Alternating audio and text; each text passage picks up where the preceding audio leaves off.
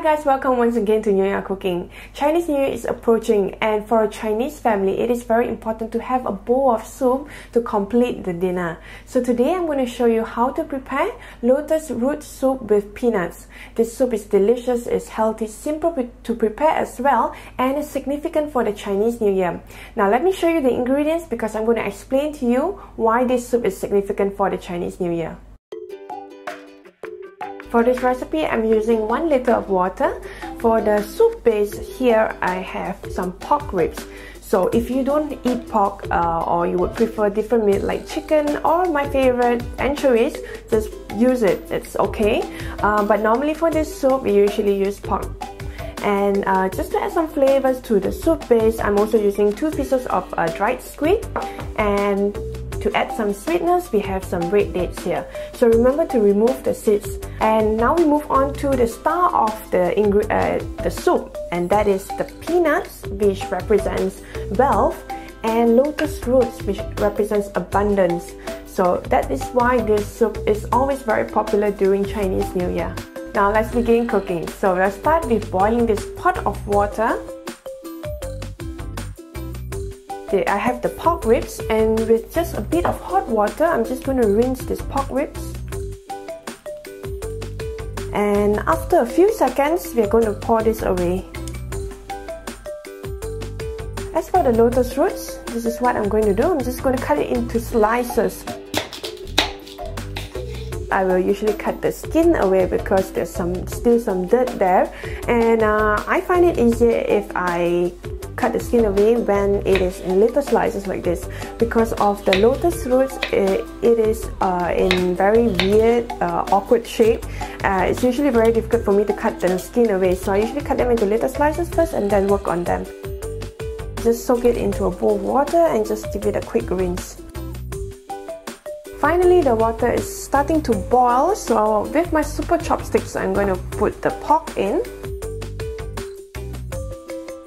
then the dried squid along with the red dates to add some sweetness and peanuts for wealth lots of wealth and of course abundance by the lotus roots. There you go. So after this there's really nothing much to do because we're going to let this boil. And once this starts boiling we're going to bring it to very low heat and let it simmer for at least one and a half hours to uh, two to three hours it's really up to you I like to keep my soup for at least about two and a half hours because then the soup is really infused with the sweetness from the uh, pork ribs and then the saltiness from the dried squid Mmm, so nice, especially when the weather is so cold right now in Germany. This bowl of soup is really, really delicious. It's marvelous. So I'm gonna let this sit down for um, two hours at least, and then I'll come back and show you how it is like later. It's already two and a half hours and my soup is ready. Now, uh, while boiling the soup, you can taste it from time to time and if you find that it's not salty enough for your liking, feel free to add some salt but try to cut down on the salt because the uh, dried squid has already some saltiness in it. So let's look at our soup now.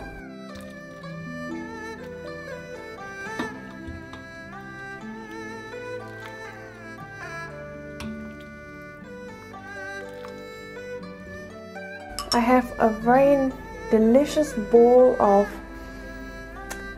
lotus root and peanut soup and I can't wait to dig in. It's really cold at the moment here in Germany so uh, let's try. Let's smell first. Can smell the um, peanuts in the soup. It's quite strong.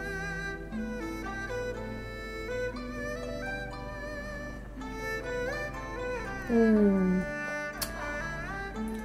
It's it's so comforting to have a nice bowl of soup, especially when you know it has so many different types of ingredients like the peanuts and the, the pork together with this uh, red dates which carries some sweetness.